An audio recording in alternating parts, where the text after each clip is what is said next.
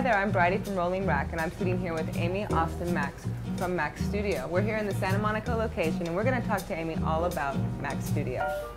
So, Amy, tell me, when did Max Studio begin, and how was it founded?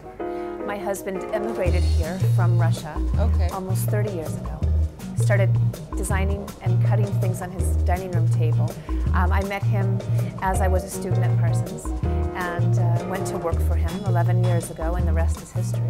When it comes to fabric, what do you look for? Texture, drapes, um, feel, everything? Absolutely all of the above. We do innovative fibers. We have bamboo, we have soybean, I have milk protein. And we travel the world and look for uh, fibers that, that function for today's woman. How do you make that all come together? Uh, considering we were one of the pioneers of, of this, this eco green movement, um, we just didn't draw any boundaries. We didn't draw any lines around ourselves. We thought, what could we use and why not?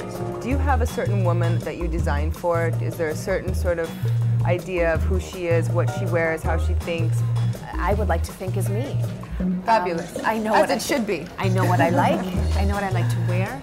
I know what uh, what colors I want, what I'm feeling. I know what fabrics I'm feeling. I know what it feels like to be a woman with a multifunctional day. I was amazed to find out that you guys do a new collection every 15 days. How is that humanly possible?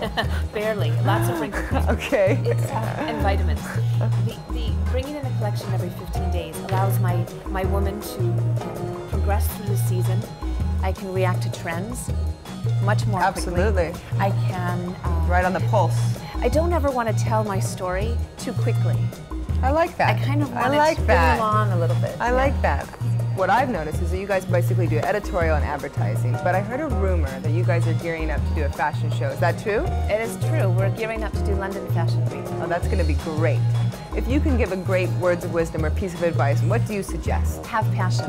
Every day you have to get out of bed. You have to love what you do. To be creative is wonderful, but to be innovative is better. Well, thank you so much, Amy. Uh, I've had a great time sitting with you. I've learned a lot about what you guys are all about, and um, we'll see you hopefully again. I hope sooner so. than later. Be well.